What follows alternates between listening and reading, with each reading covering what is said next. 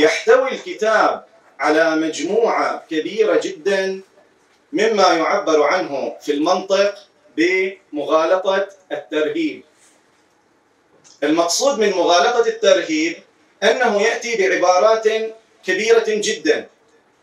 تبين أن الطرف الآخر الذي يقف أمام هذه الفكرة ليس لديه شيء من الفهم وفي القبال وفي المقابل لا يقدم أي دليل على الدعوة التي يدعيها.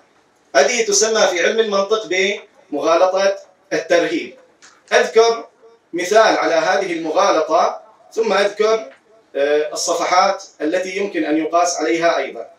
يقولون مثلا في قاعدة الضمائر هذه القاعدة أخل بها المفسرون قاطبة وهتك بها نظام اللسان العربي فلم يعد النص يشف عن معنى أكيد.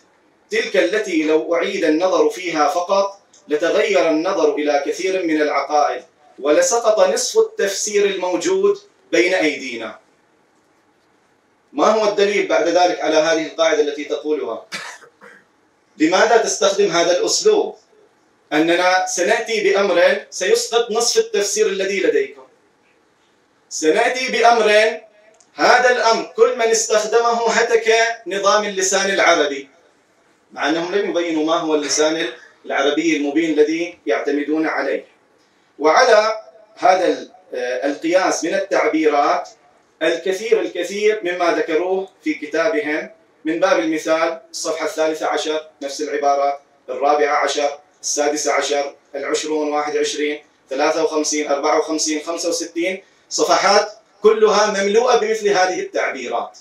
لغة هجومية حادة على كل فكرة تضاد الفكرة التي يريدون أن يطرحونها بحيث يجعلون من قارئ هذه العبارة تدخله الرهبة من المخالفة.